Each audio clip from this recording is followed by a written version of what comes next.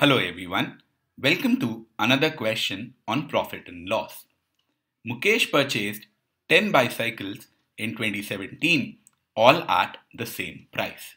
Suppose the cost price of one bicycle was 100x, that means he purchased 10 of them for 1000x.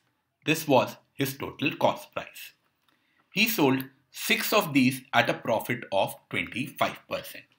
So cost price of 6 would be 600x and then he makes a profit of 25% on this which means he makes a profit of one fourth of the value on this which means he makes a profit of 150x. So that means the selling price for 6 of them will be 750x.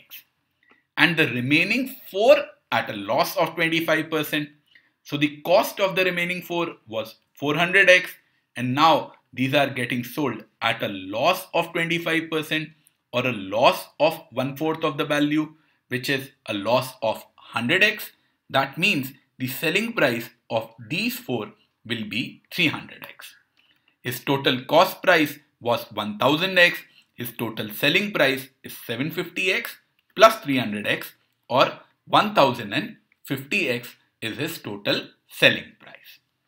If he made a profit of rupees 2000, what is the profit? Profit is selling price minus cost price 1050x minus 1000x which gives me the value as 50x was his profit and we are given that 50x is nothing else but 2000 rupees was his profit from here.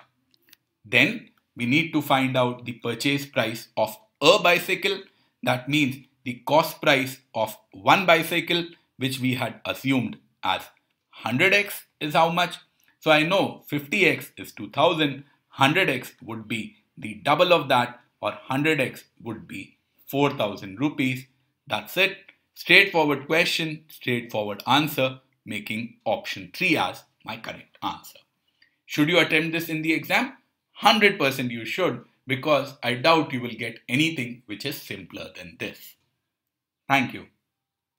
Please remember to subscribe to our YouTube channel and press the bell icon to get notifications of future videos.